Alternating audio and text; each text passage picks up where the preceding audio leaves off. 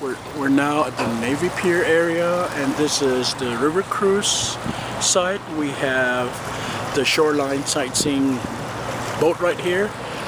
See all these skyscrapers around the area right here. And behind me, this is the Lake Michigan area. And we have a 360 degree view of the surrounding area. Here we are.